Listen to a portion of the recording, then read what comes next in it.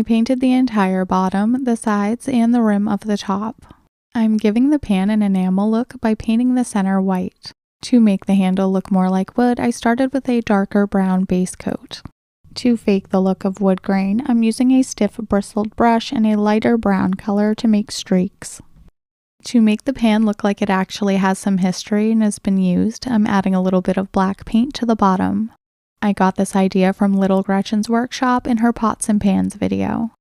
We're doing a very simple upgrade on the eggs by adding a little bit of brown paint mixed with Mod Podge around the edges. To give the yolks more dimension and shine, I added some diamond glaze. I'm adding a small amount of sheen to the egg whites using some matte Mod Podge. With just a few simple steps, I think this pan looks a lot better.